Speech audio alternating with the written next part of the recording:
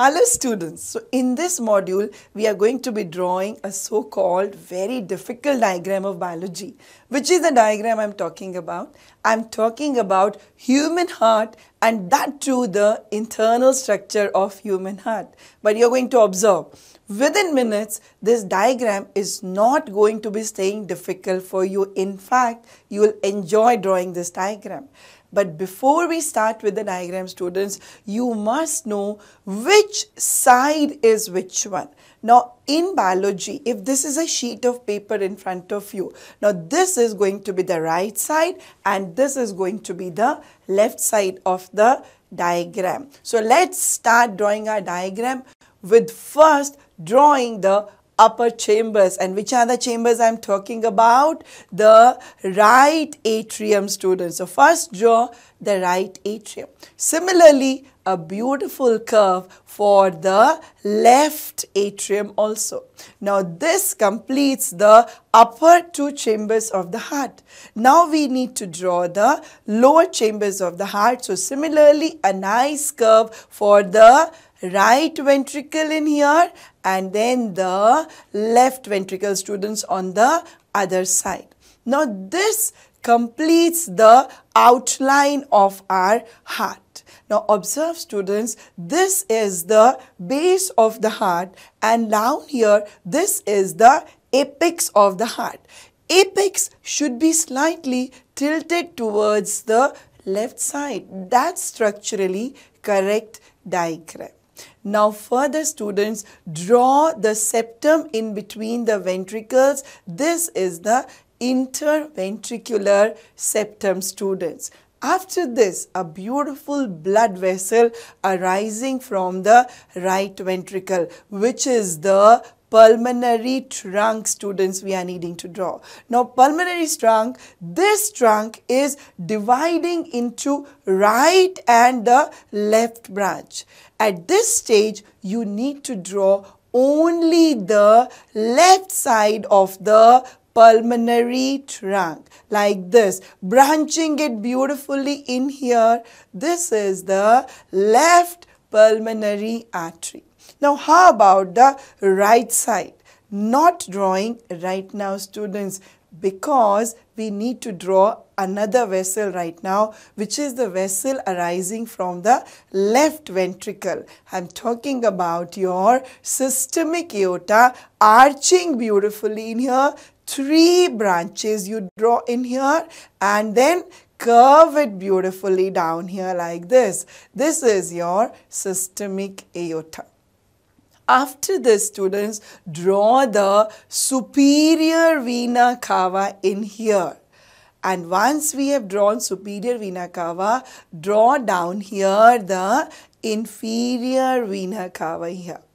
Now, after drawing superior and inferior vena cava students, now you need to complete the pulmonary trunks right side and observe in here students. Now here in right side of the pulmonary trunk this is the right pulmonary artery branching beautifully just like the left side. So this completed the pulmonary trunks both the sides.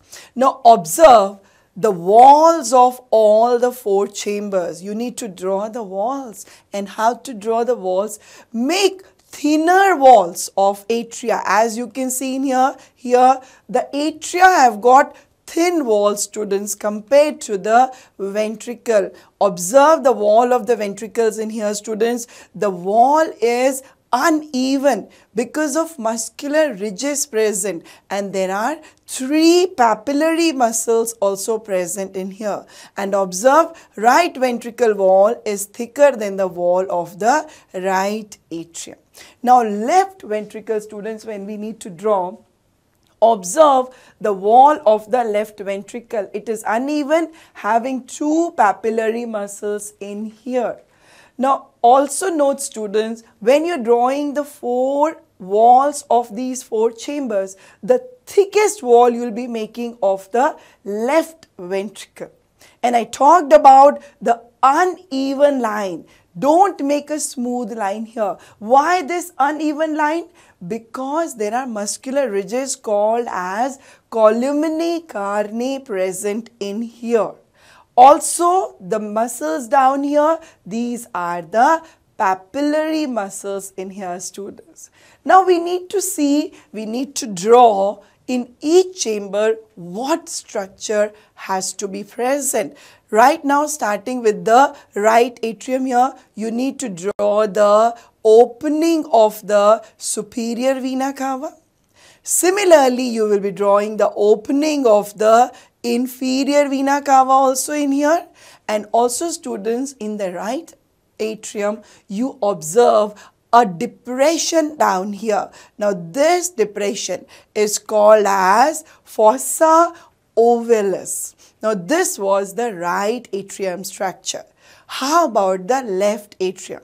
In the left atrium, students, you need to draw four openings in here, two on one side and two on the other side. Now, these are the openings of four pulmonary veins. Now students, observe another important structure you need to draw. At this stage, you will be drawing the valves which are the semilunar valves. Here you can see this is the semilunar valve of the pulmonary trunk and another semilunar valve here of aorta students. Now, these are the two pocket-like valves we call as the semilunar or half-moon shaped valves you need to draw. After this, an important structure we are drawing which is the valve present in between the right atrium and the right ventricle. Now this valve students, this is known as the tricuspid valve because it has got three flaps present in it on the other side. That means in the left ventricle. You can see, say in between the left atrium and the left ventricle, the valve which is present, this valve is the bicuspid valve because there are two flaps present in here. Observe in here students, this is the bicuspid valve in here. Now bicuspid valve is attached to the papillary muscles. These are the papillary muscles by some fibers. Now these are the fibers which are present. These fibers are known as chordae tendineae. So three structures in here. This is the bicuspid valve also called as mitral valve. Then chordae tendineae these fibrous structures and down here you can see the papillary muscles in here. Now students, herein we are going to be coloring our heart. You don't need to color the heart. You need to just draw the pencil sketch. But let's see how beautiful our heart looks in here. Now look at that pulmonary trunk dividing into pulmonary arteries, that systemic aorta there, then superior vena cava and the inferior vena cava. Also observe students the walls of all the four chambers, the thickest being the left ventricle wall, the openings of the atria, the bicuspid and tricuspid valve and the pulmonary veins. Now this is the diagram of internal structure of heart students and the labelings which are required by you are these labelings only. So enjoy drawing the structure of human heart. Take care.